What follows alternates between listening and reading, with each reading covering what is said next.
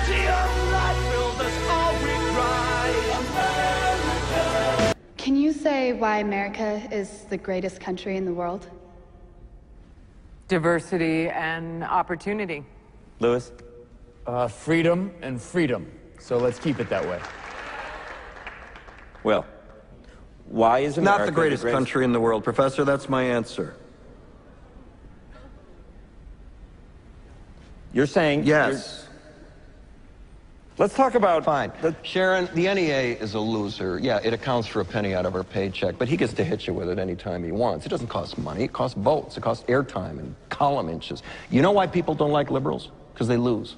If liberals are so fucking smart, how come they lose so goddamn always? Hey, and with a straight face, you're going to tell students that America is so star spangled awesome that we're the only ones in the world who have freedom?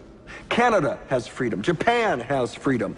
The UK, France, Italy, Germany, Spain. Australia, Belgium has freedom. So 207 sovereign states in the world, like 180 of them have freedom. All right. And yeah, you, uh, sorority girl, Just in case you accidentally wander into a voting booth one day, there's some things you should know. And one of them is there is absolutely no evidence to support the statement that we're the greatest country in the world. We're seventh in literacy, 27th in math, 22nd in science, 49th in life expectancy, 178th in infant mortality, third in median household income, number four in labor force, and number four in exports. We lead the world in only three categories number of incarcerated citizens per capita, number of adults who believe angels are real, and defense spending, where we spend more than the next 26 countries combined, 25 of whom are allies. Now, none of this is the fault of a 20 year old college student, but you nonetheless are, without a doubt, a member of the worst period, generation, period, ever period. So when you ask what makes us the greatest country in the world, I don't know what the fuck you're talking about.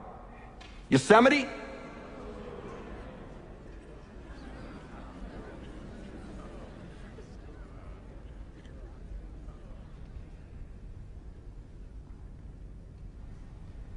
Sure used to be. We stood up for what was right.